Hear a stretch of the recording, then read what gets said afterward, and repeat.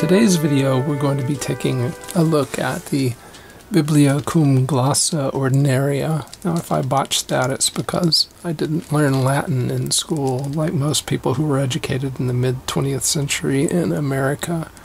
My mother had Latin in high school, but by the time I came along, it was no longer being offered.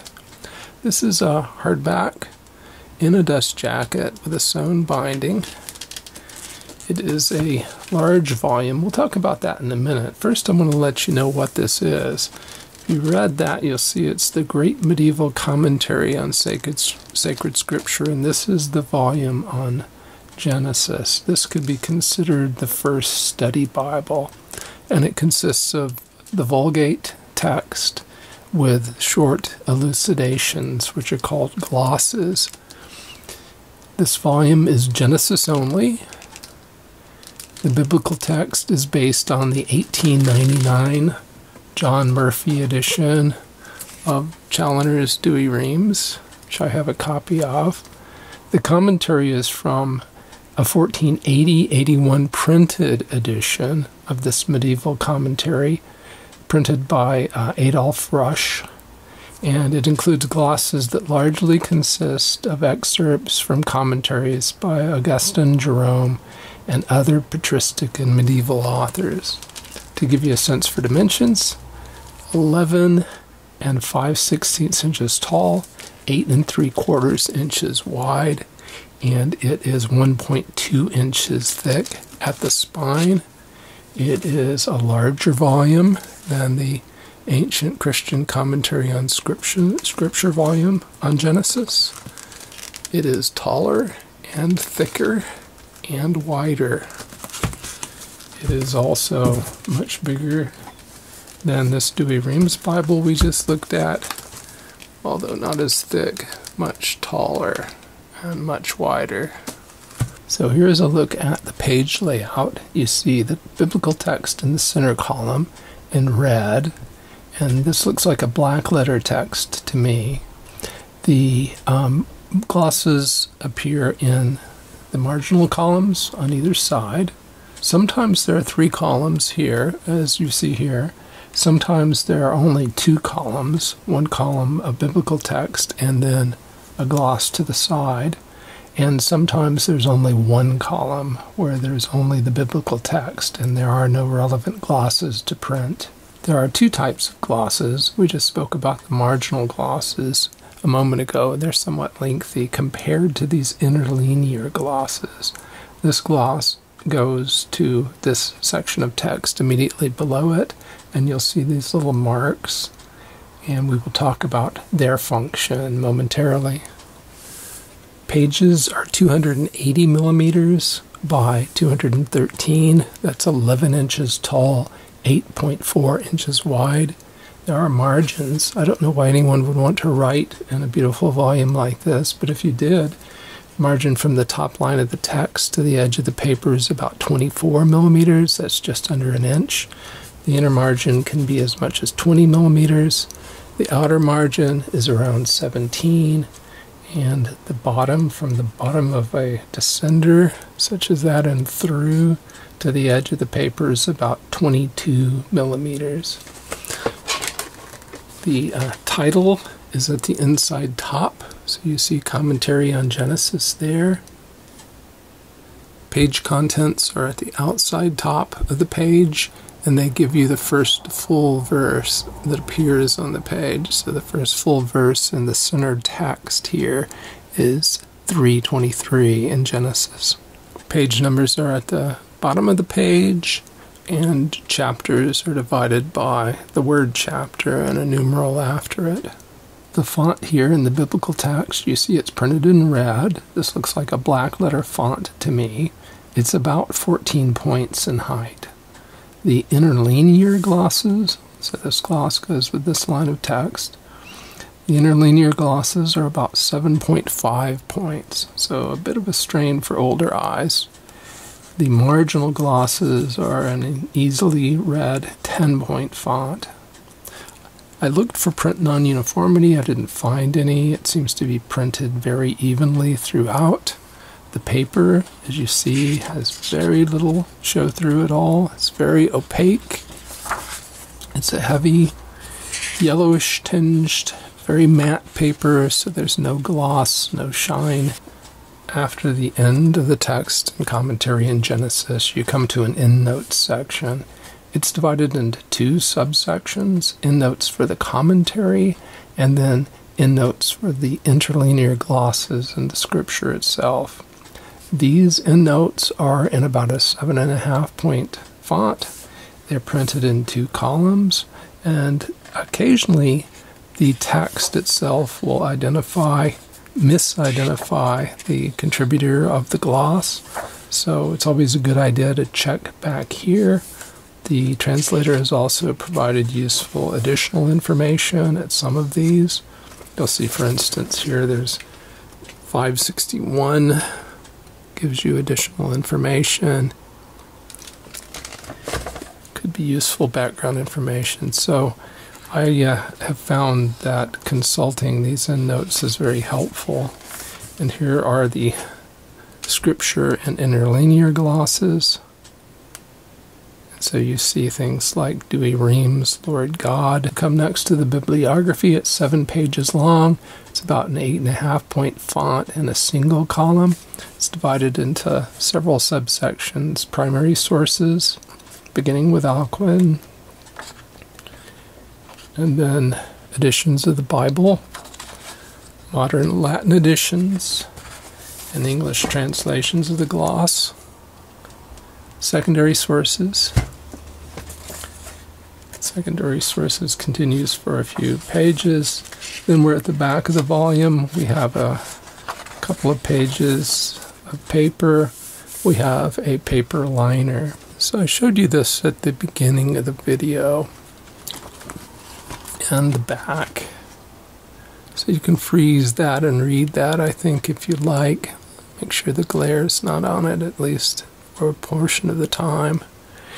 There are, as normal, there normally are on a dust jacket, on the inside and the back side, there's additional commentary. So these look like recommendations. And then on the back, we have a bit of biographical information on the translator, and thanks very much to the translator for providing me this copy for review. With the dust jacket off, you see this is the cover. It's red with gold lettering. There's the spine. It's a strongly made, sturdy volume with a sewn binding. Um, I should mention, since I always do this, I should mention that you have both um, head and tail bands. They're yellow. You can clearly see the signatures there, which indicate that it's a sewn binding. We'll show you the stitching as well in a moment. Um, it's not a gilt-edged Bible, of course. This is a normal hardback book. The stitching is uh, visible at the introduction, so we'll show that as we page through. So as we come in from the beginning, first thing thing we're met with is praise for this edition from various sources.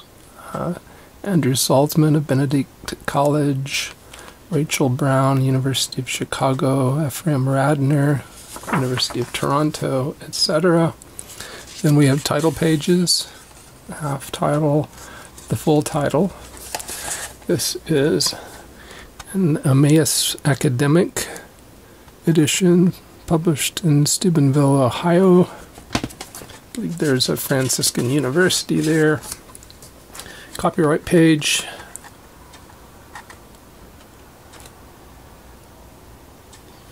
Commentary is translated from the Glossa Ordinaria printed by Adolph Rusch in Strasbourg, 1480 81. The author's uh, translator's introduction will provide much more information on that. Biblical text is based on the 1899 John Murphy Company Douay-Rheims, um, but there are some minor variations, as the translator mentions in his introduction. Here we have the ISBNs for the different editions, Library of Congress catalog cataloging and publication data applied for, so we don't have the Library of Congress number yet, cover design, layout, etc., dedication, contents. So the material up front is what we'll see momentarily, and then the various chapters and notes we've seen, bibliography we have seen. I want to show you two paragraphs from the preface. The first one, particularly as it mentions the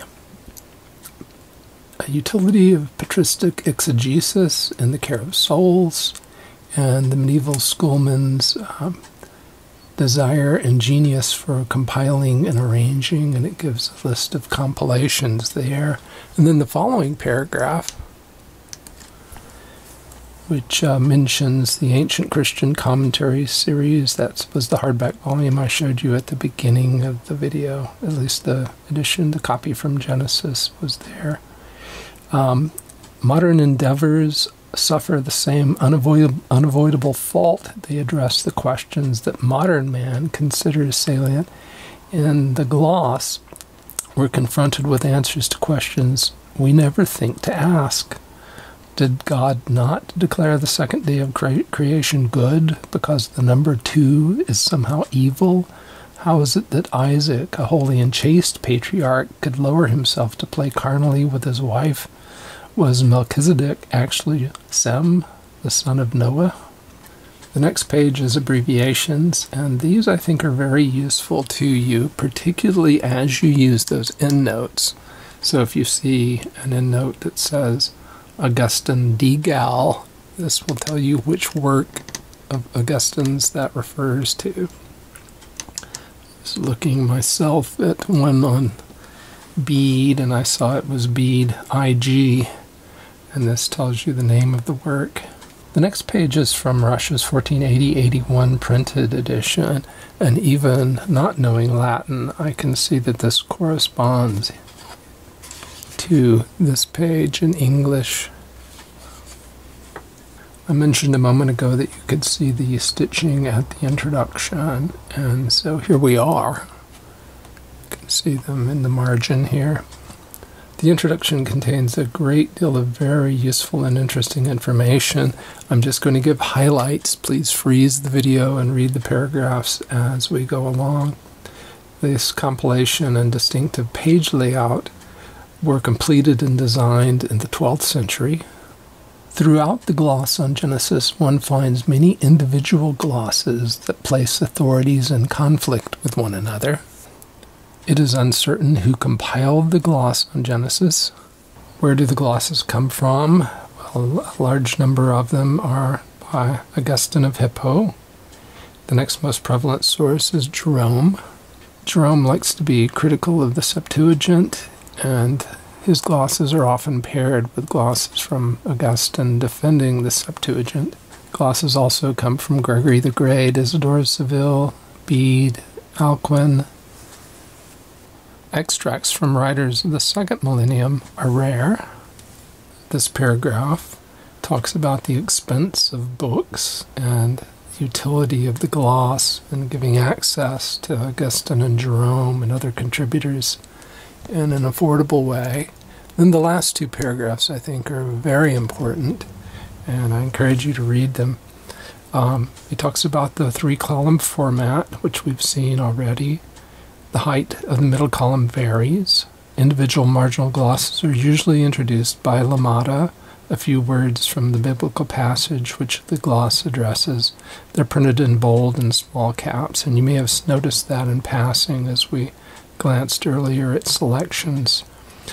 The, do, the lemmata do not always reproduce exactly the biblical text, and that's because sometimes the commentator, such as Augustine, was reading an old Latin translation, not Jerome's Vulgate. Marginal glosses are often attributed to a particular author, but the attributions are sometimes erroneous. This is one of the reasons I mentioned that it's very useful to look at those endnotes.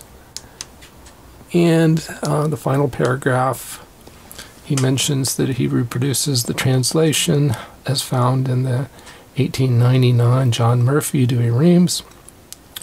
Occasionally there are minor differences, so he's corrected the Douay-Rheims uh, to agree with the Latin in um, the gloss. The first edition did not separate the chapters into verses, but he's added his own um, verse numbers. The interlinear glosses are linked to the biblical text by a system of tie marks and section marks. Based on those in Rusch, the, each interlinear gloss begins with both a tie mark and a section mark. Additional section marks printed introduce further glosses on the same word of biblical text. So let's let's look at an example to see what he's talking about. So here on page 20, looking at Genesis 1 2, and the earth was void and empty. You see in the text here in red a cross, a double cross, and then an up arrow. Those are our tie marks. First tie mark ties this of our flesh to earth. So earth is being interpreted as flesh. Then corporeal substance apparently is another interpretation that ties to earth. So those those are the two section marks. And the next tie mark connects to void before it had accepted the form of doctrine. And the next is formless and imperfect, so two sections connecting to void. And then the third tie mark is to empty, with only one section of those things which were to be formed from it. Now, if you found that somewhat inscrutable, you're apparently not alone, because if we go back to page 5 in, th- in the introduction, the translator explains to us that the short interlinear glosses function as memory aids to a first time reader, these interlinear glosses often seem incomprehensible, but for the learned master, they were sufficient to remind him of the traditional exegesis of that passage. In this section of the video, I'll give you a chance to take a look at some of the marginal annotations. This one at the lemma, and there was evening, says it's from Augustine, and it says, um, one day was completed 24 hours. And uh, you can freeze that and read it entirely, but I'm going to go to the endnotes and look at endnote number 80. So if we look at number 80, we see it's actually from Bede, from that source IG. If you don't remember what IG is, you need to look up towards the front of the volume at the abbreviations. And he says this gloss is from Bede, not Augustine. I've moved now to page 60, and here is a marginal gloss about the devil's fall and how that was due to pride. On page 66, we have a note from Jerome on She shall keep thy head, and thou shalt keep her heel, telling you that he prefers the Hebrew. And then there's following that a note from Augustine. I will pan down so that you can read it. I'll pan one more time. On page 68, there's a footnote about the name Eve. Um, I should pan up just a bit so you can see the preceding note. Then let's go down the page.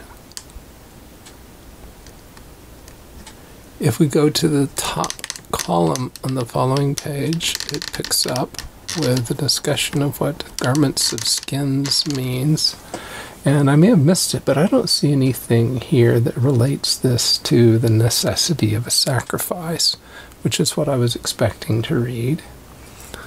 We have a note on And the Lord God Made from Augustine.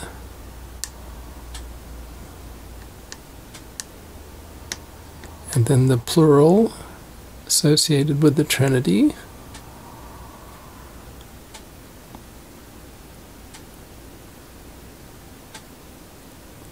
So again, please freeze and read. On page 69, we find another note from Jerome correcting the Septuagint.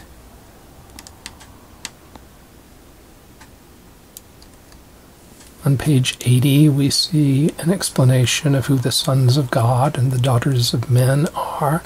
And so now we're in an era where the children of Seth and the stock of Cain are the preferred explanations.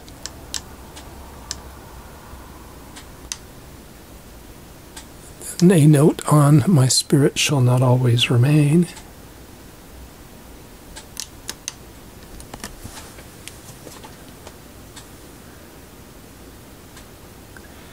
And perhaps we can show the rest of this column.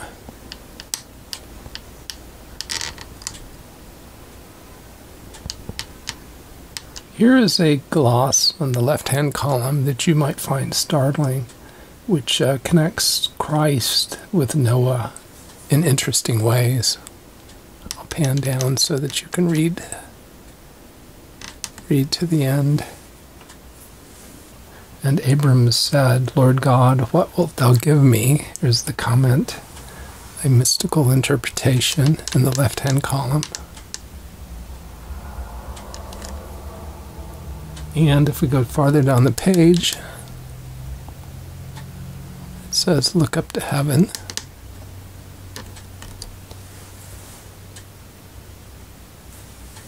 So, again, my purpose here is to give you a flavor for the kinds of interpretations one finds in the glosses. Here's one from page 116 on Genesis 17, and um, this is on the children who uh, were not circumcised. This is a gloss from Gregory, Gregory the Great, on what it means to flee Sodom.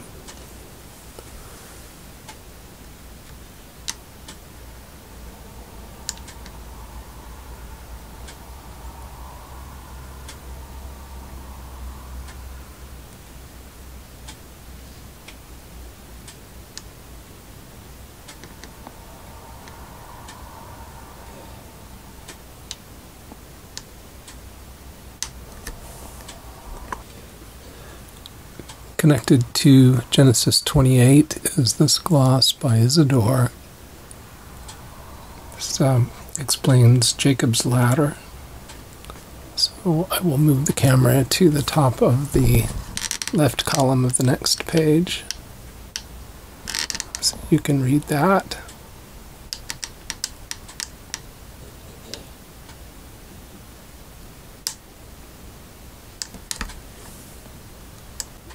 Here on page 211, you have only one column of um, commentary in the margins, and I wanted to show you in particular this gloss from Isidore on They Forthwith Stripped Him.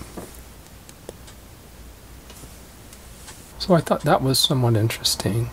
The following page, page 212, is back to three columns, but you see how sparsely annotated it is.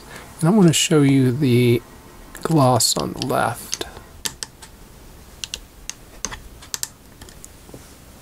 Which connects uh, Judah and Judas and their betrayals.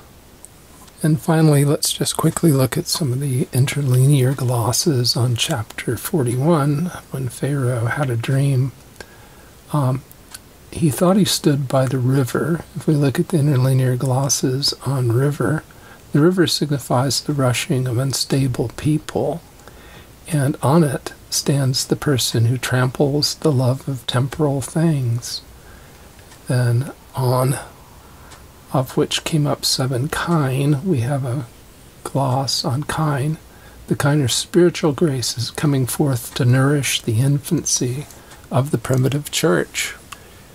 We come down here to marshy places marshy or humble places.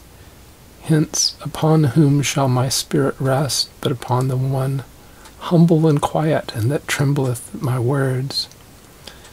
Other seven, so who are the other seven? The other seven are spiritual iniquities. They also came up out of the river, ill favored and lean fleshed. Lean flesh does not fit for nourishment and they fed on the very bank of the river in green places. So they're feeding on tender minds. Just a brief note on whether it lies open easily. I have broken it in, and you can kind of require it to lie open, but it does have a tendency to want to fold back in on itself. I think by pressing it down, once you've broken it in, you'll be able to read it. A relatively flat surface without great difficulty. So, in summary, I think this is an excellent volume. It's a very useful resource, and it would be worthwhile to you to have this in, in your library. If you're at all interested in this kind of um, allegorical, anagogical, tropological, and uh, sometimes literal interpretation philosophy that you find in the authors collected here in this volume. Uh, it's well made. It's a sturdy volume. The paper is heavy. You don't do not have show through issues.